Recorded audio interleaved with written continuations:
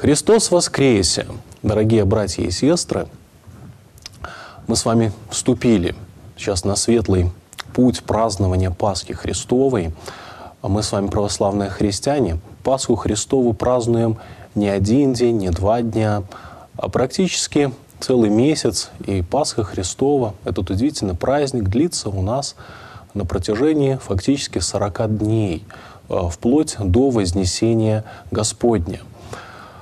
Э, день этот удивительный. Вот э, по уставу православной церкви в первые дни празднования Пасхи на Светлой Седмице и еще за несколько дней до Пасхи на Страстной Седмице по уставу православной церкви не совершаются заупокойные богослужения, так как праздник Пасхи а, говорит только о радости, и никакие печальные вести, какие-то скорбные для нас вести, они, в принципе, не должны омрачать этого торжества. В церкви все должно быть на своем месте. Пришло время радоваться, мы радуемся. Пришло время поскорбеть, мы скорбим. А, и вот на десятый день после Пасхи по русскому обычаю, по нашему славянскому обычаю, а, мы с вами отмечаем э, день, который называется словом «радоница». День особый. А, в этот день мы поминаем своих усопших. А, когда-то давным-давно этот праздник, существовавший уже на наших землях, носил немного другое название. Его называли когда-то «радуница» через букву «у». Говорят, что это слово происходит Э, литовского происхождения и означало э, рауда, погребальная песнь. То есть когда э, предки наши поминали своих усопших по своим языческим традициям, языческим обычаям. Но когда христианство пришло в наши земли, когда наш народ стал православным, праздник этот по большому счету остался. Но единственное, что так как пришло сюда христианство, этот праздник был переосмыслен, и его само название было изменено. И со слова «радуница» он стал называться словом «радоница», от слова «радость», уже не погребальная песня, а слово «радость».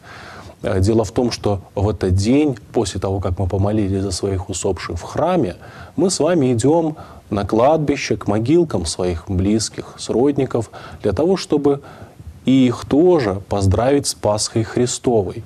Им тоже сказать радостную весть, благовестие, сказать о том, что Христос воскресе, похристосоваться с нашими усопшими.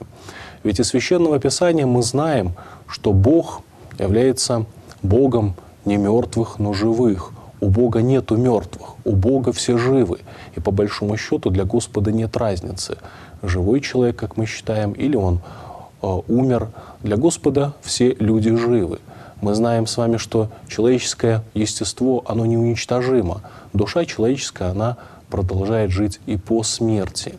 А, и также мы в этот день, когда провозглашаем нашим усопшим эту пасхальную радостную весть, эти удивительные слова «Христос воскресе», мы, конечно, обращаем свой взор в будущее и вспоминаем в этот день и напоминаем нашим усопшим о том великом событии, которое когда, э, когда-то нас ждет в будущем.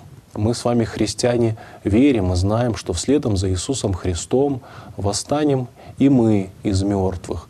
Господь однажды совершит чудо, воскресит тела усопших людей. Души бессмертные вновь соединятся своими телами. И люди предстанут уже перед Божьим судом в своих обновленных телах. Поэтому мы утверждаем это в этот праздник Христоса с нашими усопшими.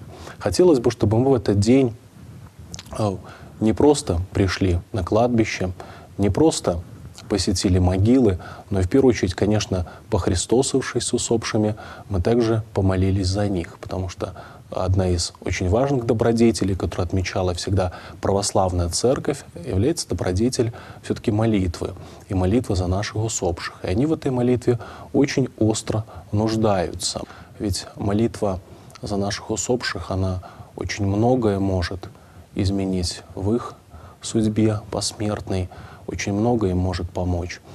И к тому же, как говорил святитель Афанасий Сахаров, удивительный исповедник православной церкви, живший в 20 столетии, говорил, что когда умирают наши близкие, у нас, конечно, бывают скорби по нашим близким, мы, конечно, скорбим.